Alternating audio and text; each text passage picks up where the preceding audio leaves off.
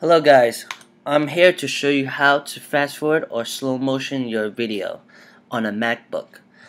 Um, so first you need iMovie.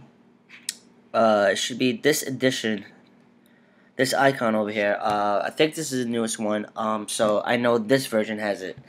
So let's begin. take your video you want. Obviously, you drag it down here if you haven't used um, iMovies before. So um, for for this side, I'm going to fast forward the clip right here. Clip.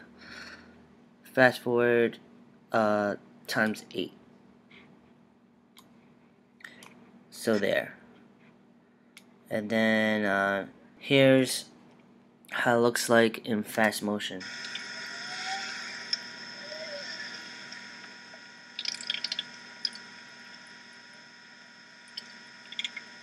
There you go. That's how you do it. And for this side, I'm going to uh, slow motion it. It's over here. Clip slow motion. So I'm going to do 25%. This is slow motion. You could change it in real time, but um, there you go.